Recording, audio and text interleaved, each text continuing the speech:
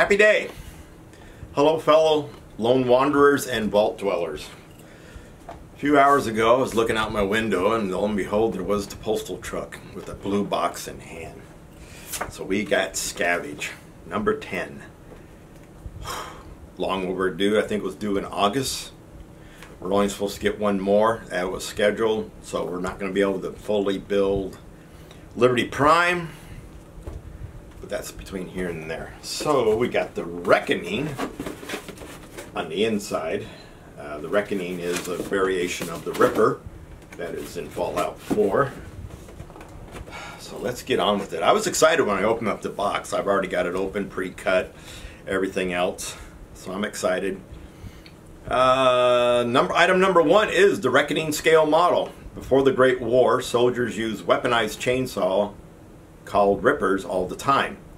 But we heard rumors about a special one. Tracking down Smiling Larry was no easy task. We thought he'd be more smiley. but we managed to buy this Reckoning scale model from him. And that is the first item. So we've got the Reckoning scale model of the Ripper, as it is called, pre-cut. I'm not going to take it out of its plastic because I'll end up dropping something like I usually do. Lay it on up to the side, so there we do. We've got the Chainsaw Reckoning, or the Ripper as it's called. Item number two is the Fortune Finder Perk Pin. Getting the Fortune Finder perk in Fallout 4 helps you find more caps in random places.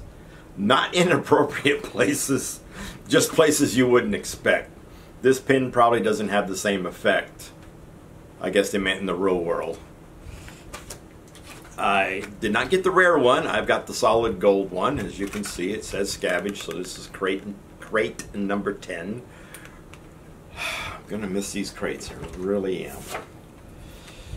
Uh, number th the item number three, I was smiling very big when I opened up the box and saw the cover of one of these, and you'll see in a second.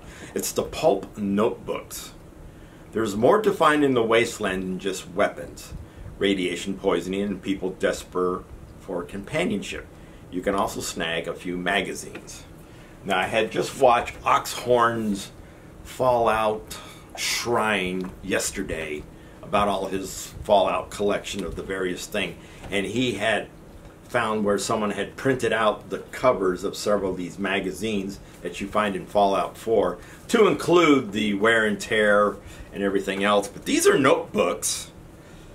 Fallout Crate notebook set. We got two of them in here. And I love the cover of this one, the Astounding Tales, Astounding Awesome Tales number six, The Attack of the Fishmen. Now, back in the 80s when HBO first came out, uh, I was living in an apartment, and the first movie I watched on HBO was Humanoids of the Deep, I think it was called. I didn't look it up on IMDb, and basically the fishmen looked like this, and they were terrorizing a beachfront property, and of course, you know, killing all the men and making love to all the women. Strange movie. And then we also got Tesla's Science Magazine, issue number 8, which is the giant super weapons. So, the Tesla magazines. And I love the inside. The paper looks like it's old, water damage, ancient. Don't know what kind of notes I'm going to put in these. Maybe something personal. But like I said, I was happy. I was really smiling when I saw the these line at the bottom of the box. Item number four is our Liberty Prime Build-A-Figure left arm. We got to hand it to you. You're more than halfway to rebuilding Liberty Prime, titan of democracy, and all-around exceptional symbol of patriotic pride. So we have the left arm, like I said, pre-cut. Except I didn't unwrap this one. I did unwrap my perk pin because it's to got that plastic. So we've got the left arm to Liberty Prime. Looks like he's reaching out for something. Liberty Prime here. At least a greater share of him. And that one slides on. Oh, there goes the leg. See, I told you I was going to drop something.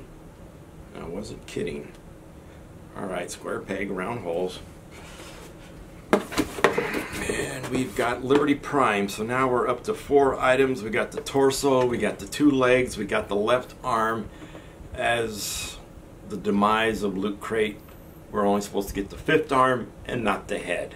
Maybe we'll get fortunate that maybe they'll make them, let them make a special purchase and give us the right arm and the head in loot crate number 11 and the final loot crate that we're going to get. I mean, it'd be kind of silly for us not to complete Liberty Prime, but that's not our problem, I guess. It's their problem. And last but not least is the Fortune Finder perk figurine. Want to find cool pre-war stuff? Here's a helpful hint from the Vault Boy. Start scavenging. This cool figure is based on the Fortune Finder perk from Fallout 4, which makes a great display piece for any display shelf. So it matches our lovely perk pin that we got. Yeah, don't see much. Pre-cut. And let's see. Has a base. Tape and the base has a tire and some random junk on it.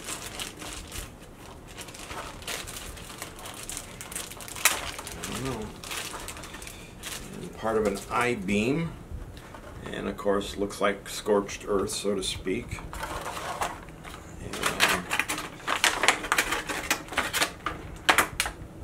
Oh. He doesn't have Vault 111 on the backside. I figured he would say Vault 111 on the backside. Alright, more. Uh, okay. Gonna fit in there, and there we go. We've got, there's even a um, couple meters and some buttons on the backside. I don't think you can see it on his metal detector or whatever kind of detector this is.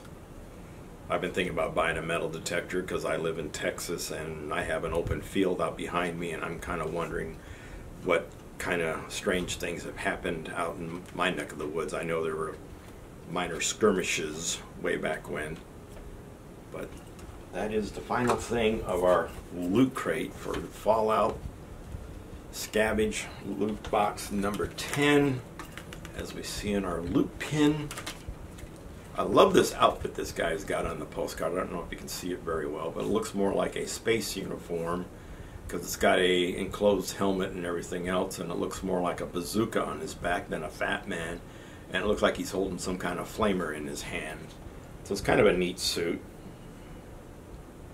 Something like a, for a space, more for space than but then again, it could be a biological outfit for all I know, future lives one.